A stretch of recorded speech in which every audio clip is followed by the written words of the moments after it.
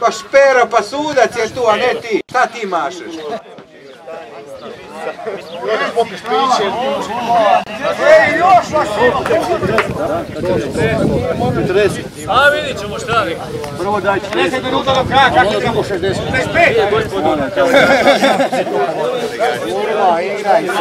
Eriću, delegaciji 45. 45 minuta i gotovo!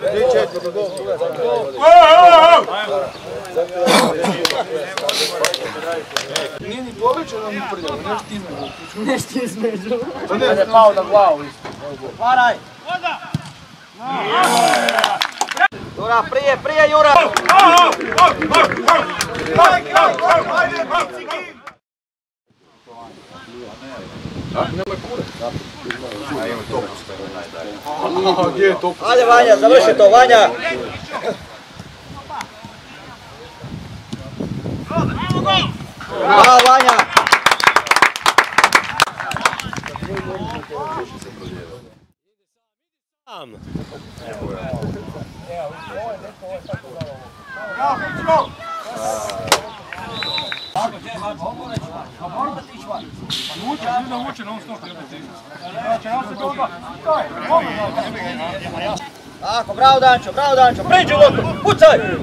Bravo, bra- bravo, bravo! Pucaj! Ti će me pinci, pa će reći, gledaj, na klupi sjedi.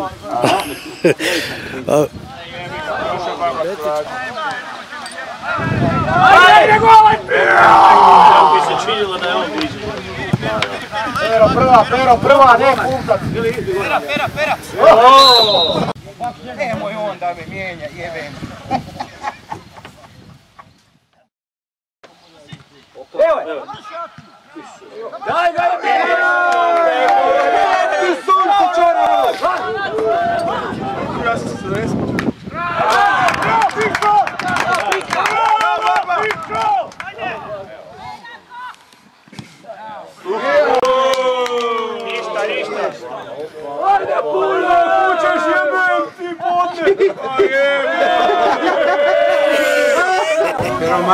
jedan. Predsjednik ima riječ.